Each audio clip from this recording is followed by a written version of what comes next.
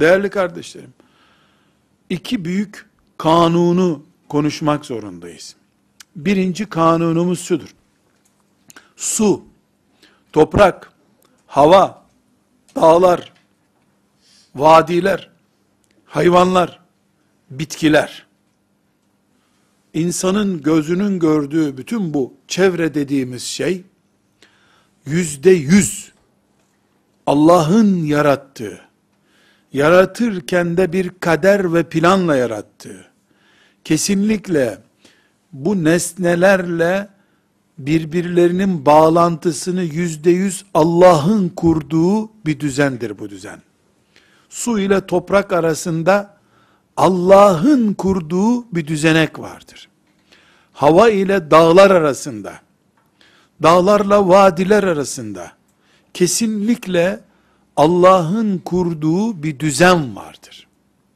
Dolayısıyla bir dağı 20 yerinden dener, deler de tünel açarsan, sonra da o dağın etrafında kar yağmasını engellersen uzun vadede, kar yağmadığı için de, mesela kışın mikroplar ölecekti, böcekler ölecekti de, sağlıklı bir toprak olacaktı, o olmazsa, mesela diyerek söylüyorum, sonra çevreyi aslında sen tüneller açarak, yerli yersiz barajlar yaparak, veya kanallar açarak, şu bu sebeple çevreyle oynadın, kendin ziraat arazisi elde ettin, sulama imkanı elde ettin, ama 50 sene sonraki, 80 sene sonraki kuşaklar geldiklerinde, yaşanmaz bir toprak parçası bulduklarında, onlar senin yaptığın yanlış barajlar, deldiğin, eleğe çevirdiğin dağlar veyahut da kullandığın şu gübre, bu gübre çeşidi yüzünden ya da yanlış yere diktiğin yanlış ağaçlar yüzünden sadece sen Avrupa'daki bir gezinde hoşuna gitmişti. Oradaki aa ne güzel bu ağaçlar demiştin. Onlardan 20 tane fidan getirdin.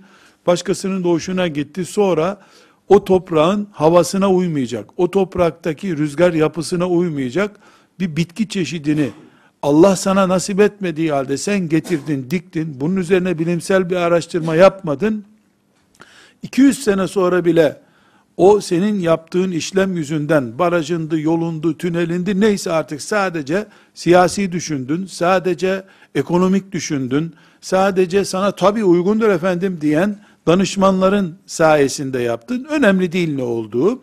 Bu hatanı 3 asır sonra bile çocuklar mesela bronşit olarak veyahut da filan mikrobun yayılmasına sebep olarak ya da filan arazide doyacak insanlar aç kaldılar o yüzden gibi sonuçlar olursa senin elinle olan şeyi Allah sana sorar. Kur'an'ımızın bize gösterdiği birinci kanun şudur.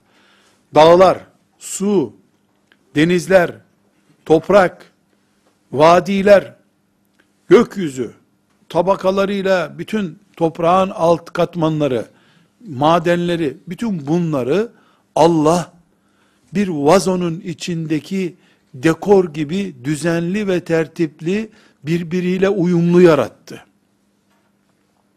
Suyu insanoğluna yetecek şekilde yarattı. Senin yaptığın yanlış havuzlamalar yüzünden su sorunu olduysa sen mesulsün.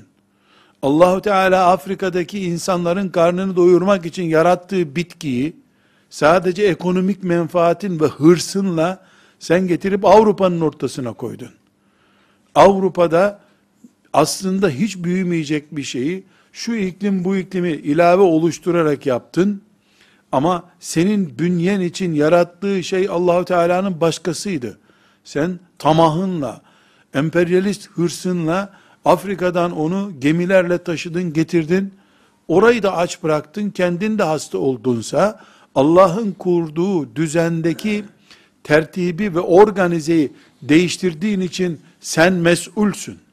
Çünkü Allahu Teala bu çevre dediğimiz dünya ve ekseninde döndüğümüz evreni kesinlikle uyum içerisinde yarattı.